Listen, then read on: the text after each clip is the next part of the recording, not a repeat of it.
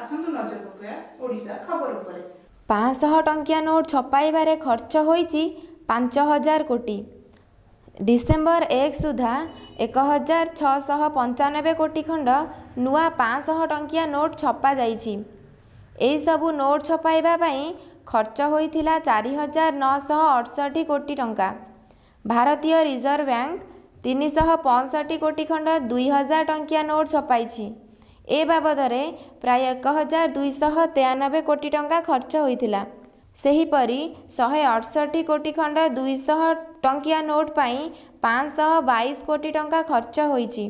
ବିମୁଦ୍ରୀକରଣ ପରେ ଦେଶରେ ନୂଆ ନୋଟ୍ ଛପା ହେଉଥିବାରୁ ଅଧିକ ଅର୍ଥ ବଢ଼ିଯିବା ହେତୁ ଏପରି ଅବସ୍ଥା ସୃଷ୍ଟି ହୋଇଛି। Bureau report Odisha mobile TV. ବର୍ତ୍ତମାନ ପାଇଁ ଖବର ଏତିକି। ଅଧିକ ଜାଣିବା ପାଇଁ ଲଗନ୍ କରନ୍ତୁ। Odisha mobile TV dot com ନମସ୍କାର।